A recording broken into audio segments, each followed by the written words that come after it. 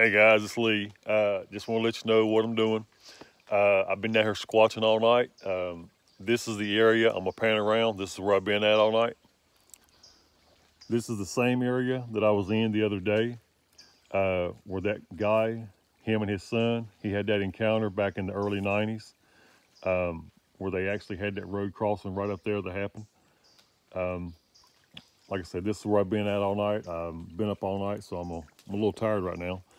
But I sat up there with the flare and the parabolic dish, and I had the dish aimed out this way, right, right dead through there, which would have been going, you know, right through here, going down the creek bed.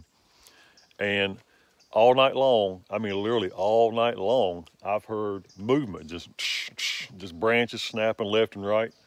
Um, last night, about 240, 245 in the morning, uh, I caught what sounded like a, a high pitched yell or scream. And thing about this is, you know, guys, there's nobody back in here. Okay, this is this is all forest, creek bed. You can see there's there's nobody in here but me. Okay, so again, about 240, 245 in the morning, a yell, a scream came from that direction. Then what I thought was what I thought was really interesting. Like I said, I've been up all night. I'm tired. Sorry. what I thought was really interesting is at exactly 4.56 this morning, I heard one single wood knock, just a, on a tree, and it came from that direction right there, because that's where the dish is aimed at. One single wood knock all night long.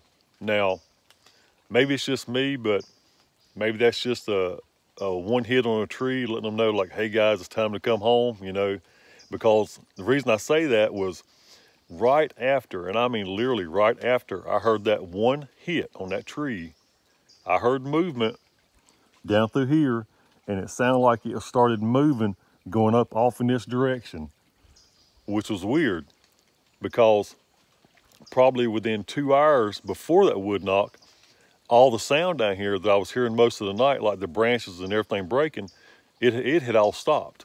But right after I heard that one single wood knock, at exactly 4.56 this morning, movement started again. And like I said, it started right here, and you could hear something just like, so like it was walking, and I could hear it literally going all the way up through here, okay? That's crazy. Like I said, one hit, and it's like in this alarm clock, like, come on, guys, come on home. yeah, yeah mama's cooking breakfast, got to go. but anyway, this is where we was at. Like I said, this is a dry creek bed and right up there is where the encounter happened back in the early 90s. Um, been down here all night long, so uh,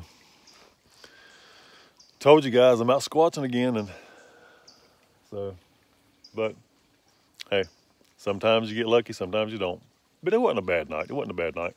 You know, like I said, off and on, heard movement, heard that yell, then the then the wood knock, and heard something take off walking.